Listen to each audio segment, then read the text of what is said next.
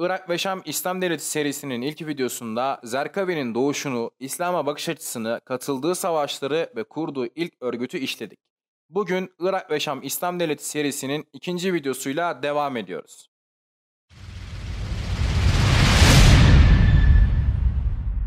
Zerkavi, Tevhid ve Cihat örgütünü oluşturduktan sonra İran'a daha yakından ilgi göstermeye başladı. Burada kurduğu hücreler Afganistan ile Irak arasında lojistik görevi görüyordu. İran kuzeyine ziyaretlere başlamıştı. İran kuzeyinde faaliyet gösteren İslamcı örgüt Ensarul İslam ile temaslarını yükseltti hem El-Kaide içinde tanınması hem de hapishane dönemindeki davranışları İslamcı çevrede saygı duyulan bir insan olmasını sağladı. İstediği herkesle görüşebiliyordu. Irak ordusunun Amerika Birleşik Devletleri ordusuna ağır yenilgi yaşadığı 1. Körfez Savaşı henüz yeni geçmişti. İran kuzeyinin ve güneyinin uçuşa yasak bölge ilan edilmesi ve Irak ordusunun buralarda gücünün kısıtlanması Zerkavi'nin işine yarıyordu. Güç boşluğunu çok iyi değerlendiriyordu. Zerkavi'nin işine yarayan bir diğer konu İran çökmüş olan ekonomisiydi. Amerika Birleşik Devletleri Irak'a eşi benzeri görülmemiş bir yaptırım uygulamıştı. Bu durum Irak ekonomisini yerle bir etmişti. Hatta Saddam'ın bildiği ve izin vermek zorunda kaldığı şekilde Irak'ta bir gri pazar vardı. Gri pazar bir nevi kaçakçılık anlamına gelir. İthalatı ve ihracatı ülkenin değil kişilerin yapmaya başlaması gri pazardır. Vergi yoktur, satış fiyatı ticareti yapan kişiler tarafından belirlenir.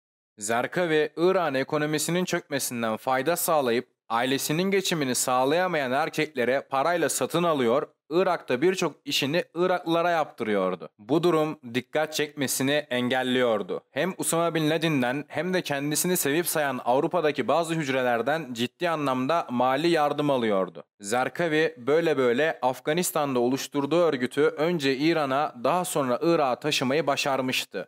Örgütü Afganistan, İran, Irak üstünde temellenmişti. Irak'ta güçlenmesi Arap dünyasına açılmasıyla sonuçlandı. Suriye'de gücünü yükseltmeye başladı. Ürdün'e ve İsrail'e saldırı yapma fikrinden de vazgeçmemişti. İsrail'de çok ciddi bir saldırı planladı ve kendisine bağlı militanları İsrail'e göndermek istedi. Bu militanlar Türk istihbaratı tarafından yakalandı ve İsrail'de çok ciddi bir saldırı engellenmiş oldu. Bu durum Zerkavi'nin Afganistan'dan İsrail'e ulaşabilecek güce eriştiğini göstermekteydi.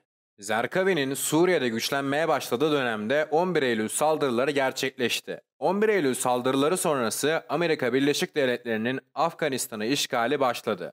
Zerkavi bu süreçte Suriye'deydi. Afganistan'a geri döndü ve işgale karşı direnişe katıldı. Koalisyon Hava Kuvvetleri'nin Afganistan'a yaptığı ağır bombardımanlar sonrası El-Kaide yöneticileriyle bir görüşme gerçekleştirdi.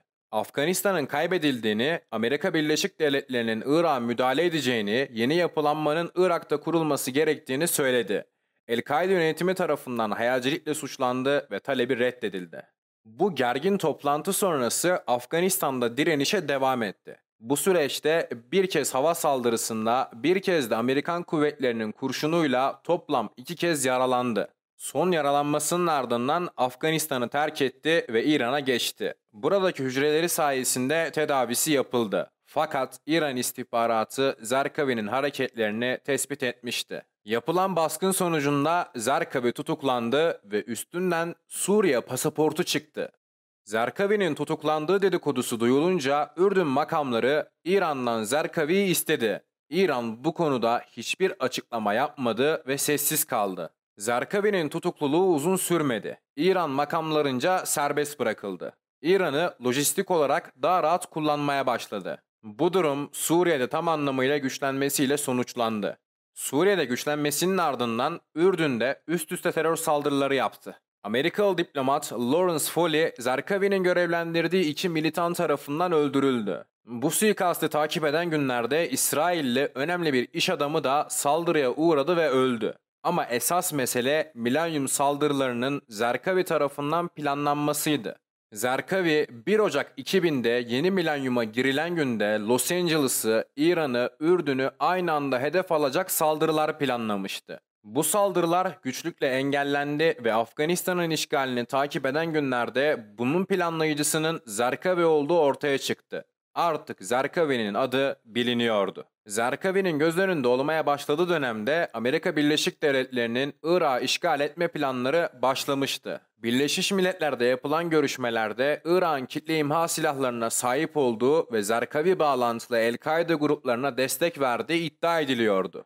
Zarkavi zaten çok öncesinde Amerika Birleşik Devletleri'nin Irak'a gireceğini tahmin ediyordu ve haklı çıkmıştı. Birleşmiş Milletler görüşmeleri sürerken Zarkavi Afganistan'dan, İran'dan, Suriye'den bütün güçlerini Irak'a çekmeye, Irak'a takviyeler yapmaya başladı. En sonunda da Bağdat'ın ağır şekilde bombalanmasıyla Irak'ın işgali 20 Mart 2003'te başladı. Amerikan ordusu Basra körfezini kullanarak İrak'ın güneyinden Irak'a girdi.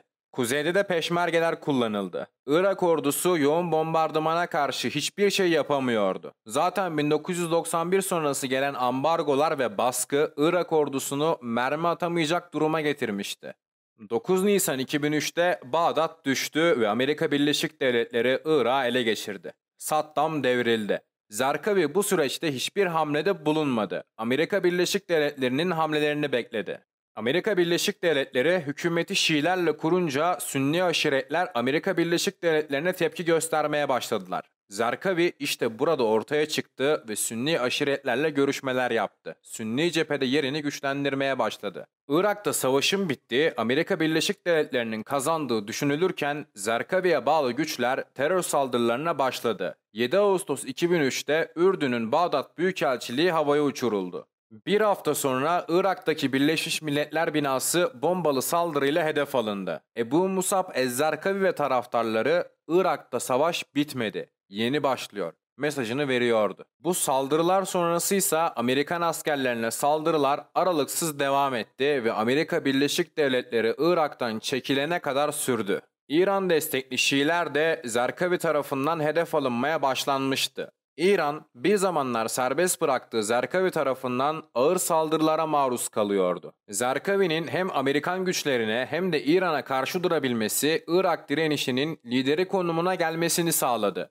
Bu süreçte daha önce hiç görülmemiş bir şey yaptı. Kafa kesme videoları üretmeye başladı. Yapılan infazları videoya çekiyor, dünya gündemine düşürüyor, Irak'ta kendileriyle savaşa girecek bütün insanları tehdit ediyordu. İngilizce bilen bir ekipten medya ekibi kurmuştu. Amerikan medyasını takip ettiriyor, medyanın durumuna göre de adımlar atıyordu. Bazı adımları Amerikan medyasında kaos oluşturuyordu. Ebu Musab Ezzarkavi artık bir simgeydi ve Sünni direnişçilerin lideri konumundaydı. Zerkavi'nin bir diğer politikası Saddam'a ihanet eden ve sonra Amerika Birleşik Devletleri'nden istediğini alamayan Cumhuriyet muhafızları ile ilişkiler kurmaktı. Böylelikle örgüte kurmay zekası da kazandırmak istiyordu. Her şey onun lehine gelişiyordu. Fakat bir sorun vardı. Serinin ilk videosunda da belirttiğim gibi Zerkavi ile Bin Laden arasında sorunlar bulunuyordu. Zerkavi, Bin Laden'in zayıf bir adam olduğunu düşünüyordu ve Bin Laden'e biat etmiyordu. Çıkar ortaklığı mevcuttu. Usama Bin Laden ısrarla Zerkavi'den biat bekliyordu fakat Zerkavi bu ısrarı ben ancak Allah'a biat ederim diyerek geri çevirdi. Zerkavi ile Bin Laden arasındaki kriz derinleşiyor, ikili arasındaki soğuk savaş güçleniyordu. Bugünkü videoda Zerkavi'nin Tevhid ve Cihat örgütünü Irak'a taşımasını, Irak işgali sonrası lider konumuna yükselmesini ve Bin Laden ile arasındaki sorunları işledik. Bir sonraki videoda Felluce'de Zerkavi ile Amerikan kuvvetlerinin yüzleşmesini, Amerika Birleşik Devletleri'nin ağır yenilgisini ve Beşar Esad'ın Zerkavi'ye desteğini konuşacağız. Videoyu beğendiyseniz daha fazla insana ulaşması için beğen tuşuna basmayı ve serinin devamını takip edebilmek için abone olmayı unutmayın.